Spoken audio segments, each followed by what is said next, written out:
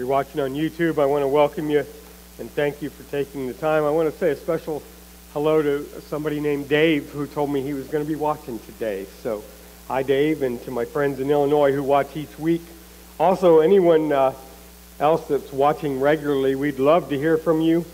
You can reach us through our website at waltonhillschurchofchrist.com. We're on Facebook, or you can call the office here at the church. We'd love to have you join us in person sometime as well. And I just wanted to throw that out there. So today I'm going to be continuing with the series on Old Testament in the New Testament. And next Sunday I'm going to take a little break and we're going to look at Thanksgiving and not the day that we celebrate, but the act that we take part in on that day. It's the concept of Thanksgiving, and while both the Old Testament and the New Testament are adamant that an attitude of thanksgiving is crucial in the life of a follower of God, there are no uses of the word translated over that actually quote the Old Testament. So that's why I said I'm taking a little break from the series. Enough about that, though. Let's get on with the message for today, which is titled simply The Law. I understand that as New Testament Christians, we don't spend a lot of time talking about the Old Testament law. The point I'll be getting to today is that we should, and also why we should. 275 times, 51 times in the book of Romans alone, the word law is translated. And that's where we're going to be reading from again today. Paul's letter to the Christians at Rome. I'll be reading from the seventh chapter. And for those of you who aren't really maybe real familiar with this part of the Bible, there's going to be a lot of talk about the law. It's important for us to stand, understand before we get into this that what Paul is writing about is not the civil law of the day. It's not the laws made by man or about the laws of society, but God's law. The law given specifically to and for God's people. He's referring to the 613 laws that Moses taught to the Hebrew people. These are the thou shalt nots of the Old Testament. Even for those who aren't followers of Jesus today, some of these are familiar. They're familiar with at least what are known as the top 10, right? And I've heard it referred to, the Ten Commandments, as the top 10 once, and it caused me to go back and study a little bit, and it caused me to think about the fact that many people, Christians and non Christians alike, have convinced themselves that as long as they're not breaking any of those laws, they're okay. We're doing all right. I haven't murdered anybody this week so I must be doing okay. My studies convince me that violating any of the laws or commandments that God has set in place will, in the long run, be a violation of one of those top ten in some way, shape, or form. I'll mention again that the law Paul writes about in Romans is the law specific to the nation of Israel to those who practice Judaism, those laws are still in place. To those who recognize Jesus as the Messiah and as the fulfillment of the Old Testament law, there is freedom from the law. Again, we have to be specific about that. That does not mean we are free to do anything we want. What that means is we are free to live as God wants us to live, and that our salvation does not depend on adherence to the law, but on acceptance of Jesus Christ as our Lord and Savior. That's the freedom that we have from the law.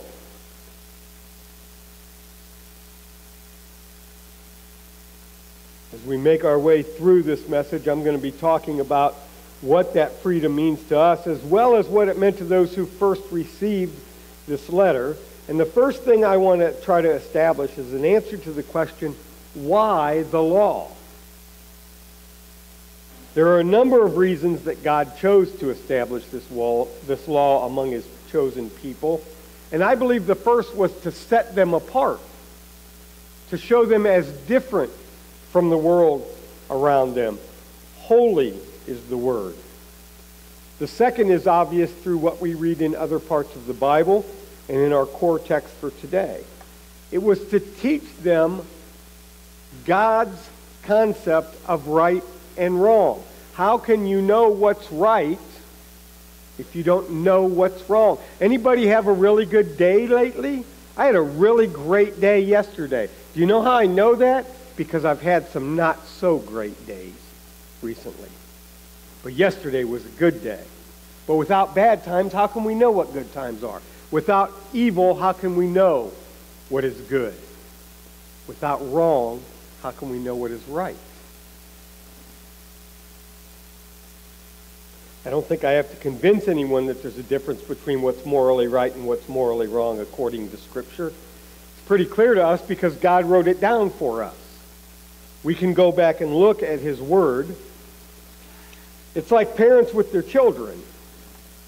While people don't always agree on what's right and wrong, most make some kind of an effort to teach some concept of the difference to their children. This is right and this is wrong. What happens when that isn't done, when that teaching isn't in place, is society gets to deal with the aftermath. We have to have a moral compass. We have to know right from wrong. And the point is that we can't know what's right until we know what's wrong. We need a point of reference. And God gave his people that point of reference through the law.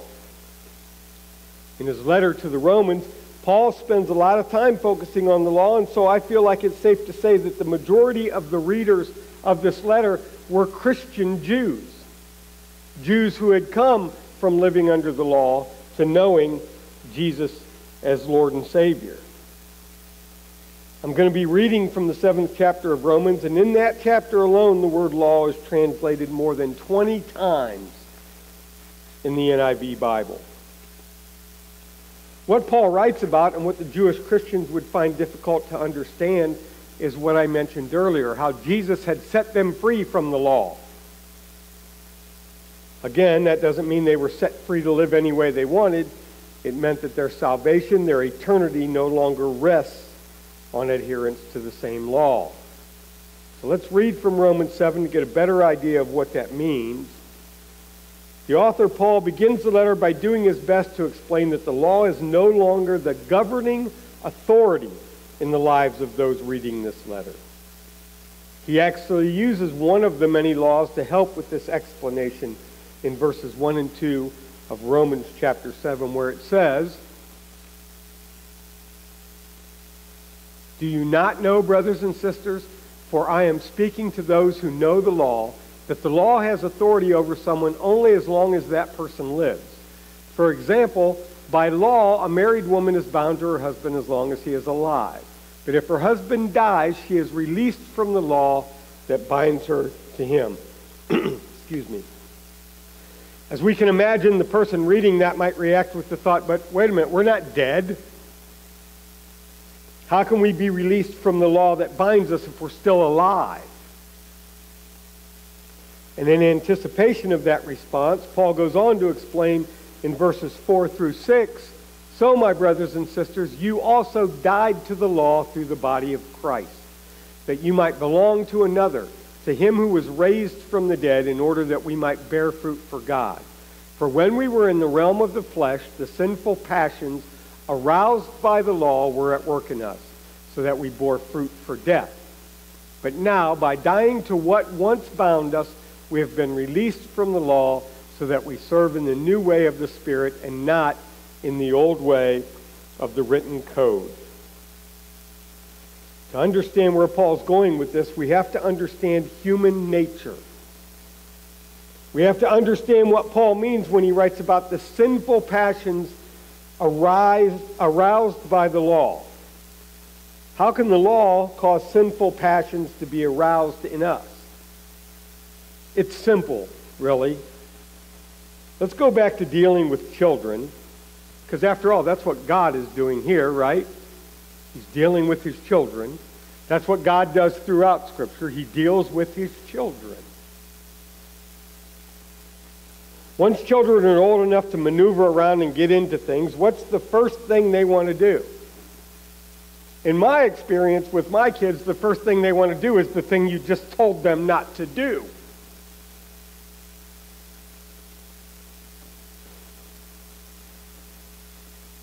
And then we have dealing with teenagers to consider.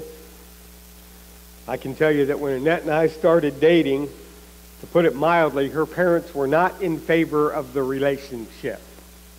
In fact, they told her she could no longer see me. What do you think that caused her to do?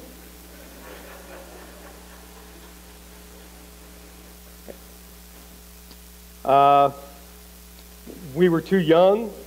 Our families were too different. I was, she was raised in church. I was not. All of those things were given as reasons. And I'd like to think it was because I was such a great catch. But I have to admit that I think her motivation was rebellion against what she had been told she could not do. And i am okay with that, just so everybody knows. The outcome was worth it. That's what Paul's getting, to getting at in this letter.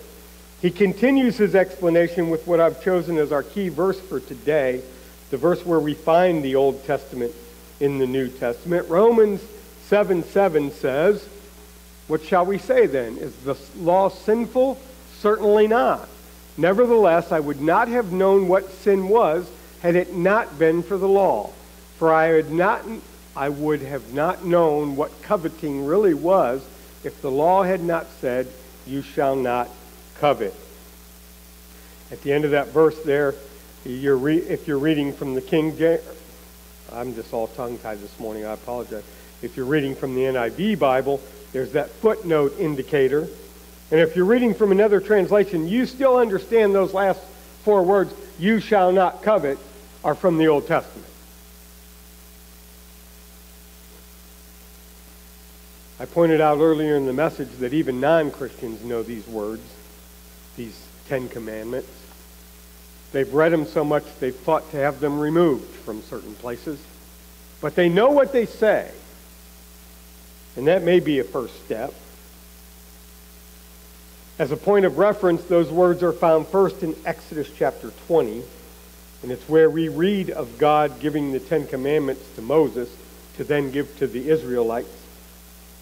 But actually, on a side note, if you go back and you really read that Exodus 20 passage, you'll see that God spoke to all the people that day. And it says in Scripture that the people were so terrified by what they had experienced that they called on Moses to bring them the law so that they didn't have to interact directly with God. It even says we will die if we interact with God. That's just something you can go back and look at. I, pardon? Something to think about. I don't want to tell you what to think. I just want to tell you, give you something to think about. For our purpose today, though, Exodus 20:17 says, "You shall not covet your neighbor's house. You shall not covet your neighbor's wife or his male or female servant, his ox or donkey, or anything that belongs to your neighbor." And again in Deuteronomy 5, Moses repeats the commandments to the people, and there, verse 21 says basically the same thing. You shall not covet your neighbor's wife. You shall not set your desire on your neighbor's house or land, his male or female servant, his ox or donkey, or anything that belongs to your neighbor. One of the things that I find interesting about our Romans text is that Paul admits he wouldn't know it was wrong to covet his neighbor's stuff. He wouldn't know it was wrong to desire to have what someone else ha- has if not for the law. He needed the law to teach him that.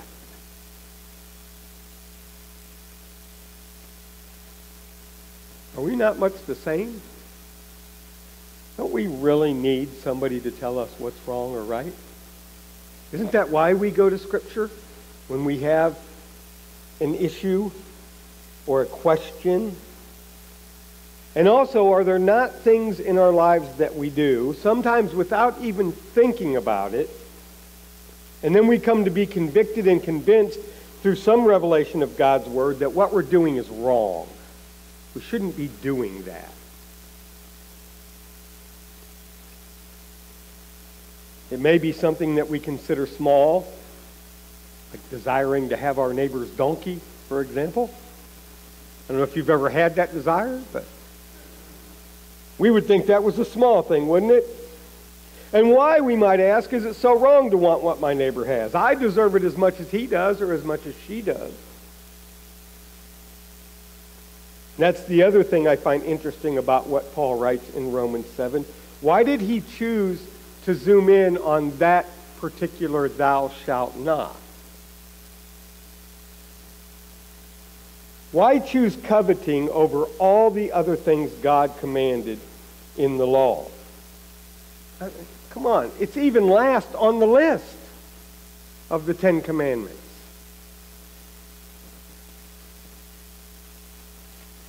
Many biblical scholars believe, and I agree with them, that Paul chose that commandment because he considered coveting to be what we might call a gateway sin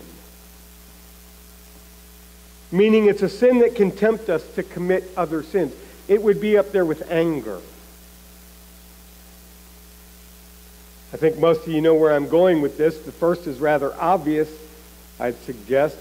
If I covet my neighbor's spouse, what might I be willing to do to get my neighbor's spouse? You want a visual picture of what that looks like? David and Bathsheba.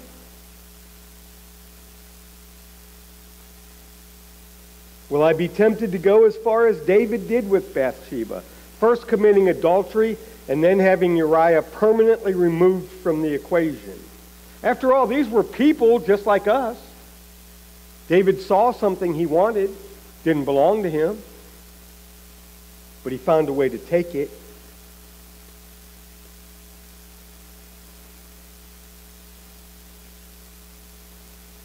What if I covet my neighbor's house? Will I be willing to abandon other things in my efforts to get that house? Will I work too much and worship too little? And if we're talking about actually wanting a piece of real estate that another person has, will I do things that will cause that person to give up that house? Will I be a bad neighbor? Use your imagination. If I covet someone's donkey or axe or any of their possessions, will I be tempted to lie, cheat, and steal to get what I covet? If I'm guilty of coveting, which of the other commandments might I be tempted to violate?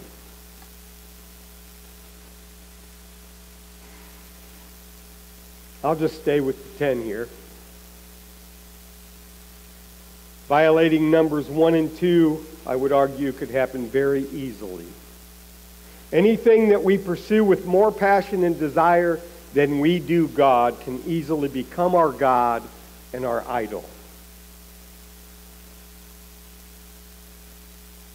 Number three, maybe, maybe not.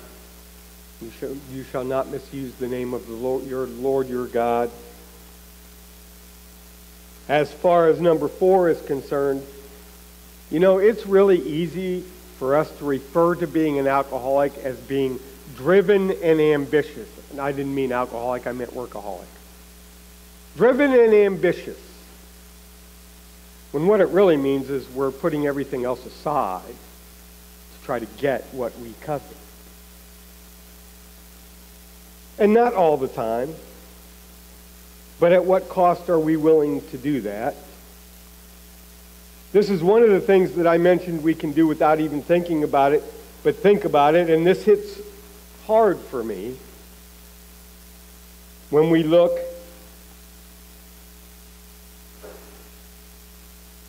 at keeping the Sabbath day holy.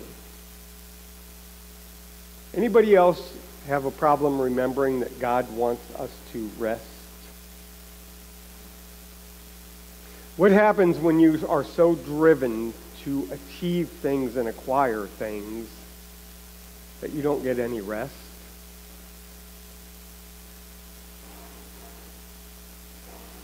Like I said, that hits pretty home, pretty close to home for me. Number five resonates with me as well because my stepfather, who raised me, taught me two things. Your word is your bond, and don't take anything that doesn't belong to you. Those are the two things I remember from my childhood. When we covet, we could be tempted to lie and or steal and for me to do that would be dishonoring the man who helped raise me. Those things would also be a violation of number eight and could lead us to violate number nine. You shall not steal. You shall not get false testimony against your neighbor.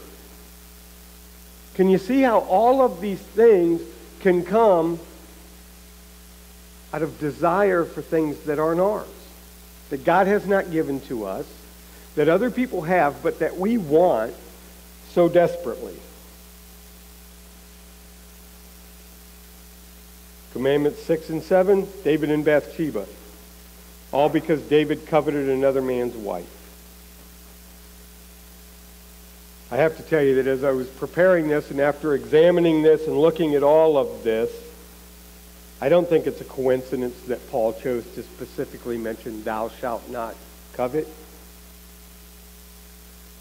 And I don't think the fact that thou shalt not covet is the last of the Ten Commandments listed is in any way making it any less important than all the others.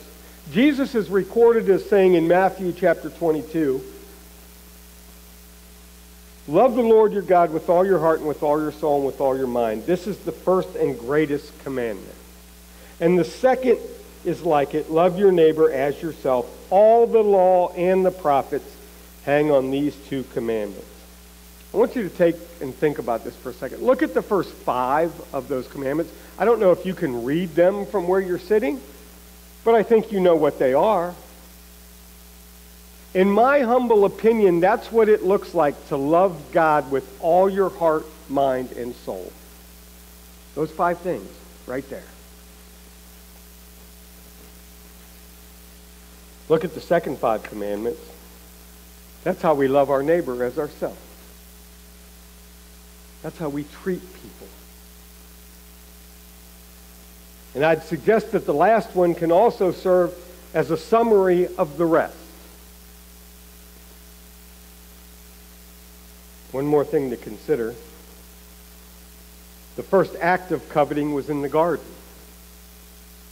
When Adam and Eve were tempted by and acted on their desire to, as the serpent put it, be like God, know good and evil.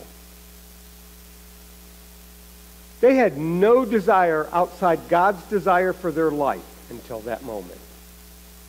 And then that desire took over. And now, as in the garden, our desire to have something that God says we can't have leads to all kinds of problems. Desiring to have God to have what God says we can have though leads to forgiveness of sins, salvation in Christ, and eternal life. That seems like a pretty easy decision to me.